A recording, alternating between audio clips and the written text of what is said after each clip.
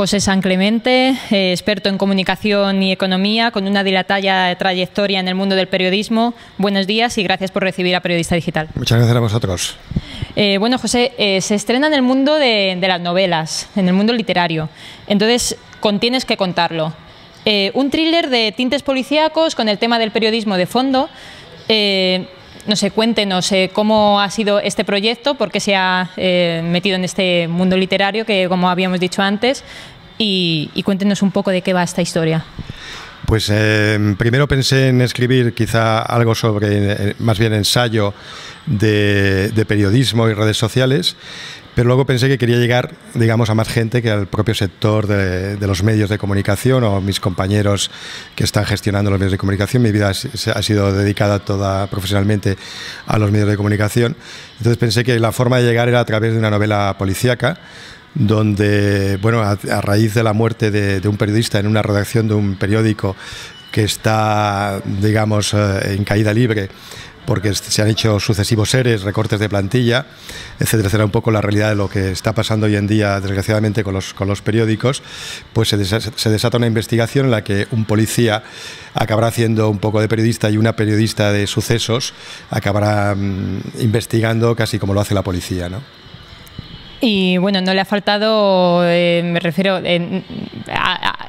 lamentablemente se han producido muchos hechos durante los últimos años eh, periodísticos eh, que supongo que le habrán servido de inspiración. Sí, mientras escribía tenía la sensación de que la realidad podía superar hasta mi ficción. ¿no? Eh, de hecho, cuando muere el periodista en mi novela, al cabo de un mes y medio, eh, fallece en su casa también en Londres el periodista de The News que había, que había digamos, desatado todo el tema de, había contado el tema de, la, de las escuchas ilegales y de los sobornos.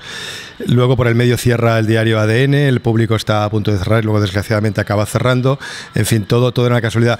Y luego mm, en el tema de las redes sociales, pues mm, veía que cada vez el control que se estaba ejerciendo sobre la privacidad del ciudadano era mayor a raíz de las noticias que se iban publicando. Por tanto, la realidad empezaba, digamos, a tocar mi ficción y, tuve cierta urgencia en, en escribir y en contarlo pronto, ¿no? Y bueno, en el dossier de prensa de este libro eh, se dice que pocas novelas nos cuentan cómo funcionan hoy los medios. Eh, ¿Usted cree que con, la suya aborda eh, la realidad de lo que estaba ocurriendo? Bueno, yo creo que, en una novela que es también, digamos, limitada en espacio, abordo una parte del funcionamiento, pero sí que creo que, recojo cómo funciona, digamos, una redacción, qué está pasando en este cambio entre el periodismo impreso y el periodismo digital, creo que, que, sí que se ve la vida por dentro de un periódico que quizá pues para, para los lectores tenga un, un, cierto interés, un cierto, un cierto atractivo. ¿no? Eh, ¿Un medio que no sufra las presiones de los políticos día a día parece una utopía? Es una utopía, pero no solo de los políticos, sino de lo que yo llamo la ola informativa que hoy en día se dice en los mercados, que va más allá incluso de los políticos. ¿no?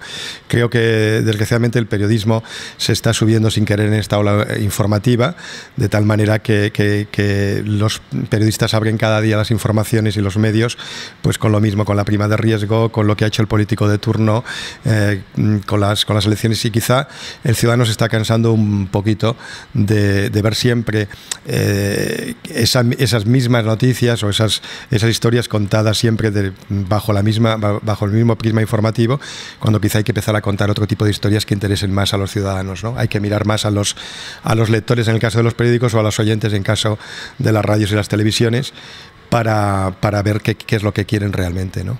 Claro, usted lo dice en su novela, eh, lo dice un personaje, eh, que quizá estemos asistiendo al fin de un modelo. Eh, ahora me, se me ocurre, The Huffington Post, eh, bueno, con el país, ahí hay una especie de acuerdo. ¿Eso es lo que se refiere con, lo que usted ha dicho de más, más bien mirar a los lectores?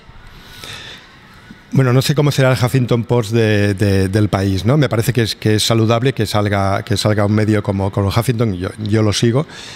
Yo creo que Huffington, Ariana Huffington inició un proceso eh, de contar historias y luego de rodearse de una muy buena opinión y muy buena, información.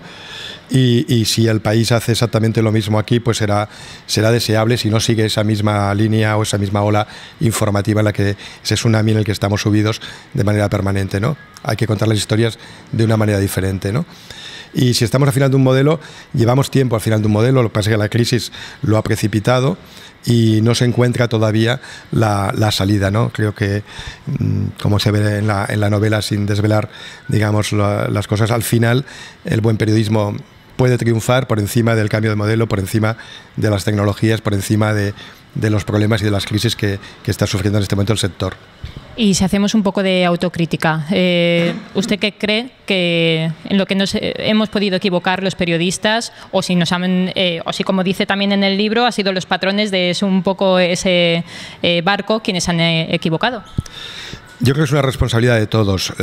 los patrones quizá hoy en día mm, están tirando la toalla antes de hora y están sin, sin, sin, todavía agarrarse, digamos, al nuevo modelo. Y los periodistas pues están haciendo un poco mm, lo que pueden, eh, digamos, con menos recursos, con menos medios, pero mm, aunque sea, digamos, o suene muy romántico, eh, yo diría que vale la pena eh, luchar cada día por contar buenas historias, por volver al periodismo y a la esencia de lo que era el periodismo de siempre, ¿no? de actuar de contrapoder, de poder mm, contrastar las fuentes, en fin, de eso que necesita cada vez más la sociedad, pase lo que pase y cambien las tecnologías como estén cambiando. ¿no? Y me ha llamado un, párrafo que, de, su novela que dice así, hoy puede ser más creíble para la gente un rumor en la red bien estructurado y dirigido que una doble página a todo color en un diario. Bueno, esto, esto lo, dice, lo dice uno de los personajes, eh, que, que, además tiene una agencia de publicidad, eh, creo que, puede ser realidad, es decir, desde el punto de vista de que eh, en las redes sociales no solamente estamos bajo control, sino que además estamos de alguna forma eh, también subidos en, una ola de tendencias que a veces no, queda, no queda claro quién las está fabricando. Hay un famoso dicho de que el 10%, mm, o sea, que el 90% de la información la genera solo el 10% de los usuarios de las redes sociales. ¿no? De ese 10%, cuántos son informaciones interesadas o tendencias que no sabemos ver exactamente de dónde vienen. ¿no? Y en cuanto a la actualidad, bueno, desgraciadamente Público cerró hace poco, continúa su, la página web. Eh, ¿Qué cree que fue el fallo de Público o, eh, o por qué se dio esa situación? Bueno, Público sale en, un momento en el que la crisis económica se ceba especialmente con la, con la, publicidad en los periódicos. Yo creo que el caso de España además es mm, todavía más sangrante que el resto de, Europa porque la prensa se ha recuperado mejor en Francia, en Italia y en, nuestros países del entorno. Y el caso de, de, Público, evidentemente, como llegó a decir su director, no consiguieron la suficiente masa crítica de lectores eh, vamos, suficiente por lo menos para aguantar el, envite de una crisis publicitaria que, ha dejado con el 60% o con el 40% de los ingresos que tenían los diarios en el, 2007. Eso puede ser la, razón y ha sido una lástima porque el público pues, jugaba digamos, un, un papel importante para un conjunto de lectores, pero se vio que eran totalmente insuficientes. ¿no? Y pongámonos en el papel de, adivinos. Eh, ¿Qué pasará en el futuro? Eh, ¿Usted cómo ve eh, la prensa, el papel de la prensa?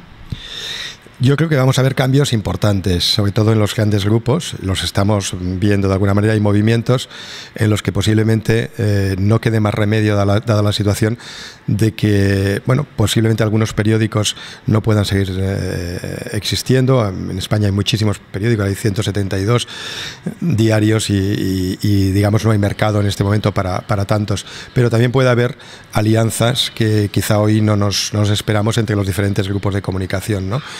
Porque quizá la única manera de salir de, esto es precisamente con, alianzas e intentando aclarar mucho más el, panorama, el panorama informativo. Le agradecemos eh, mucho eh, pues que nos haya dedicado unos minutos en esta ruta promocional que está haciendo con su libro.